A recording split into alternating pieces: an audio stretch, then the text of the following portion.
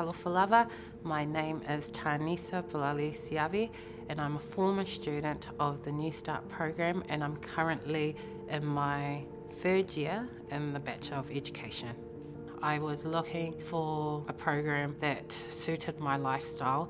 I'd been out of school for over 10 years and I needed to rebuild my confidence before entering tertiary level again and New Start was perfect for me. After New Start, life happened. I had my second child, so I took a year off and then I came back and I am now at the Taitonga campus in my final semester.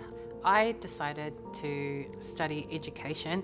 Growing up in a Samoan family, we're always helping each other. It's just the norm. And so I wanted to help children. Highlights of studying um, the New Start program in South Auckland for me was being able to be at home in my neighbourhood in South Auckland. I absolutely love that. And with our area comes our people and our community, and we had a really great class. And the lecturers were very supportive in helping us decide where we wanted to go to after the New Start program.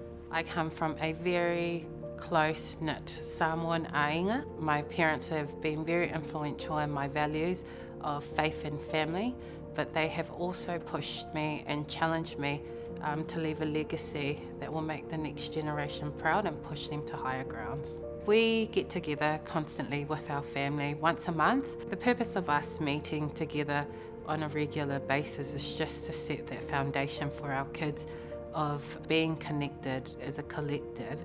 We thrive over meeting with each other, sharing ideas, our elders passing on knowledge to us to carry on to the next generation, and hopefully our kids will be able to add on more for our culture, for our faith, and for our aiga.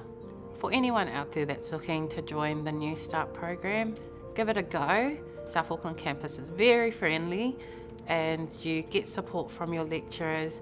You also get support from your peers. You can create the community that you want. And so just give it a go, you have nothing to lose.